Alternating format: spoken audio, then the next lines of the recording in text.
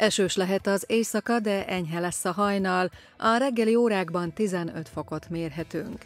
Pénteken nyugat felől egy újabb hidegfronthoz esőt, záporokat, helyenként zivatart. Kora reggel keleten, északkeleten, majd délután a front mögött nyugaton süt ki a nap, elkezd felszakadozni a felhőzet.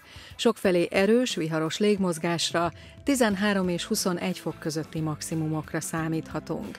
Zalában változóan felhős ég mellett gyakran megélénkül a légmozgás, a legenyhébb órákban 17 fokot mutatnak a hőmérők.